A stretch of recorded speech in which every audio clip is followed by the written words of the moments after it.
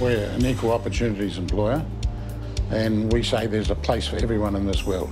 BP 2Go in Greymouth has been employing staff with disabilities for almost 30 years. How things are going for you this morning?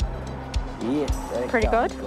Owners Joanne and Dayaram Ganda connected to disability recruitment agencies three decades ago with the clear intention to be inclusive. We work together when they advise us that there's something that they cannot do or are having difficulty with, then we work and compromise to meet everybody's needs.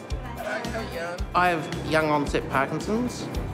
It is tough to get a job for somebody who's got fine motor skills struggles, and a lot of people like to set limitations for you.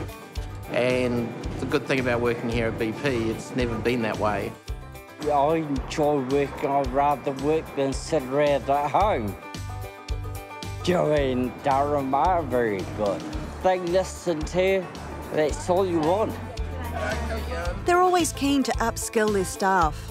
It's taught me a lot of skills like dealing with customers, working with customers, also learn a lot of leadership skills.